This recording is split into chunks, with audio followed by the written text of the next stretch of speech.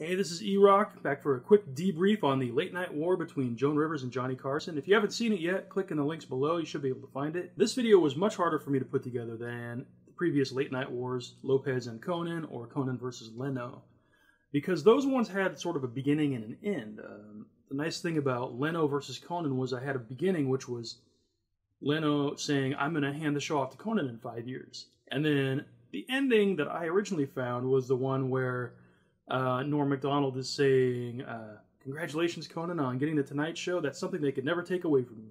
It was just a good ending. It was funny. And while I was trying to find clips to fill in all the middle parts of the video, uh, I found like four more endings, and just like Peter Jackson, I used all of them. With Lopez and Conan, um, I had a beginning which was Lopez saying, "I'm not going nowhere," knowing that a year later Conan was going to have his time slot on TBS. So that one went together pretty easy too. This one, um, while I was doing those videos, I kind of uh, learned about this one, and I decided I would try to put together something on this, Rivers and Carson. And it was a lot harder to find clips because of the age of, of the clips. Um, one of the so actually I had no beginning and no ending that I could think of at first. So I actually started with the cold open, just the uh, or excuse me, I started without a cold open. I just went right to the title scene. Um, and then I went into uh, there was a brief clip from the foundation interviews of them asking Joan, "How did you get started on the Tonight Show?" That's where I started, and then unfortunately, the, her first appearance on the Tonight Show. Um, I don't know if it exists or not. It's certainly not found on YouTube or any of the other video hosting sites right now.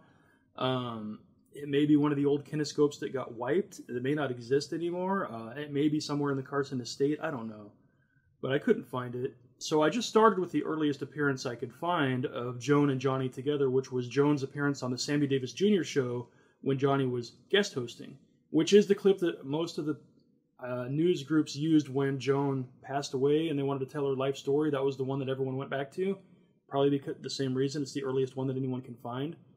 Um, and then I found a clip of uh, Joan briefly had a daytime talk show called That Show, which Johnny Carson guest appeared on a couple times. So I used a clip from that. And uh, then I got into, and then I figured that sort of covered the 60s part of their on air uh, collaboration. And then I w- was able to jump to like the 70s. I think 1973 or 71 was the earliest clip I could find of Joan appearing on The Tonight Show with Johnny. So I went to that. And then I went into this montage of Tonight Show clips. It wasn't really until I had gotten through that montage part that this thing started to feel like a real, a real uh, edit to me. Um, it was really tough going at first, trying to f- figure out where to start and how to put it together. And I would call this a uh, Stone Soup edit. Stone Soup is an old folk tale where um, a traveler uh, comes to a village and he's got nothing. He's got no food, he's got no money. He goes around knocking door to door asking if anybody has anything to spare, and nobody gives him anything. He has nothing but an empty pot. So he gets an idea. He goes down to the river and he fills it up with water and he goes to the middle of the village square and he uh, lights a fire under his pot of water and he starts boiling it. And then he takes a couple of stones and he sticks them in. And some villager passes by and says, What are you doing? He says, Oh, I'm making up some stone soup. It's going to be fantastic. And he says, Stone soup? I never heard of that. What is that? And he goes, Well, it's a delicious soup. You're going to love it. Um, man, it just, if you had, if I had a couple of vegetables to put in here or something, it would really help it out. And the villager says, "Well, I, I got a couple of carrots. Um, I could probably spare." And so the the traveler says, "Hey, if you give me those carrots or cut them up and put them in this soup, I'll give you a bowl of soup when we're done." He says, "Well, that, you know, a bowl of soup sounds better than a carrot, so sure." So he cuts up the carrot and puts it in, and then another villager comes by. What are you guys doing? And he says, "Making up some stone soup." And um, so the, he says, "You know, if I had a couple of potatoes, this would really finish it off." And the guy says, I got a potato I can spare, maybe two.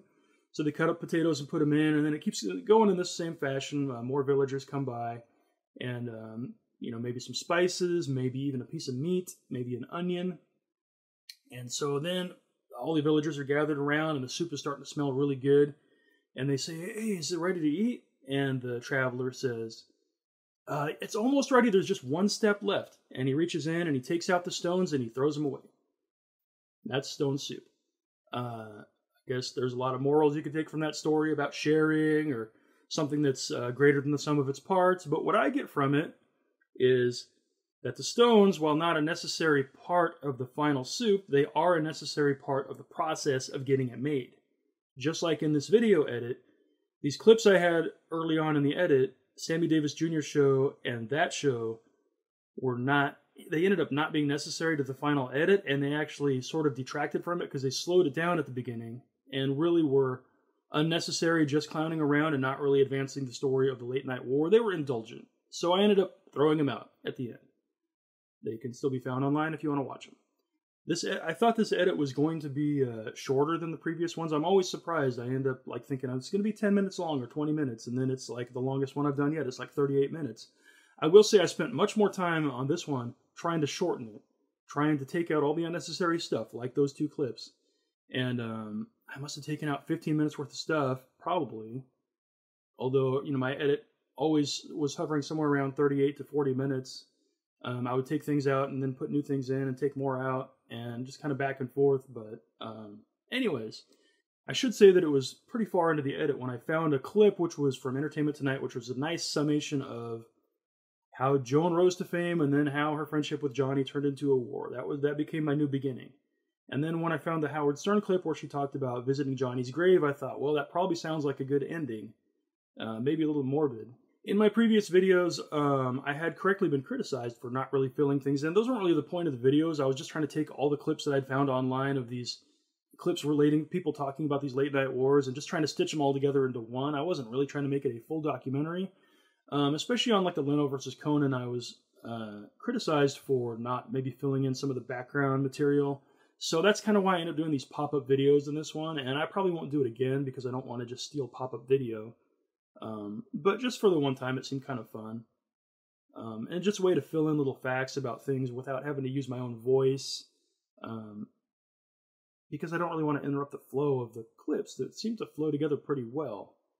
But and I don't want to just turn into my opinion on things, but in the future, perhaps some narrative linking voice will be necessary to actually fill in background details that um, aren't uh, present in these clips. So that's it. Um, always working on the next thing, and uh, stick around. There'll always be more coming.